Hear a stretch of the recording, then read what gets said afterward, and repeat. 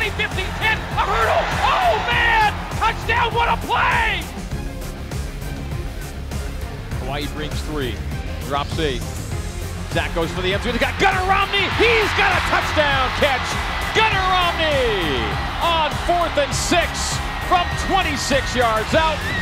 And the Cougars make it 48-23. Zach Wilson standing strong and going long for the touchdown.